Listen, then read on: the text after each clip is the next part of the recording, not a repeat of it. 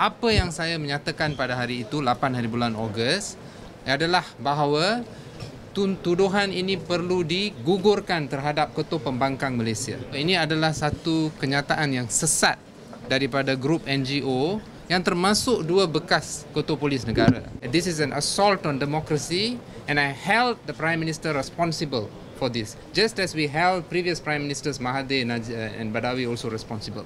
That is what I said. At no point of time did I say anything that is in contempt of court.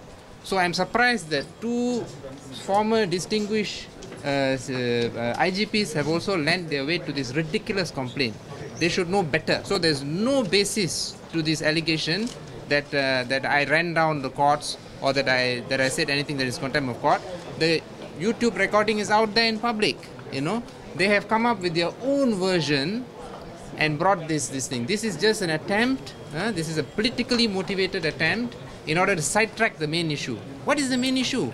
Why is this government continuing to persecute the democratically elected opposition leader of Malaysia, Anwar Ibrahim? That is the main issue. So I am telling all these NGOs, don't try to sidetrack here. Let's go back to the main issue. Stop this charge. Stop this attempt to sidetrack and destroy democracy by going after the opposition leader of Malaysia. That's the point.